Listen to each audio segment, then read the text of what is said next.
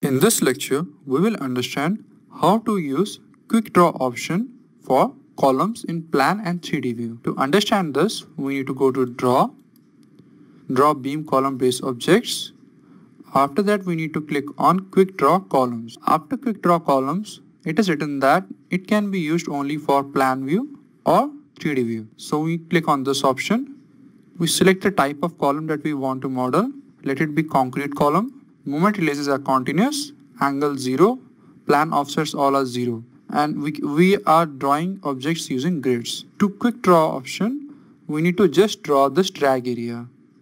See, so when we draw this drag area, it is also showing preview. We release the cursor and here we can see that the column is now drawn from story 4 to story 3. It can be clearly visible in the 3D view. After that, for example, we want to draw all the columns.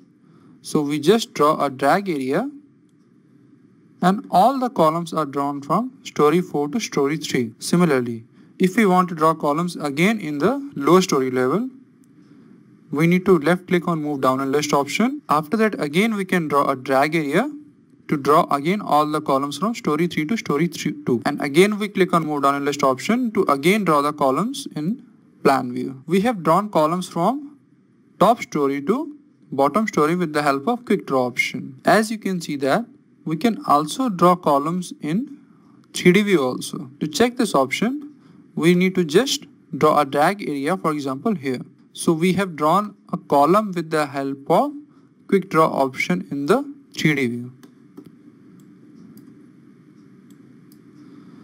Please notice that this option is open or available only in the plan and 3D view. For example, if we select for example any elevation, let it be elevation along grid 4. So now if we check this option, this option is grayed out or it is not available.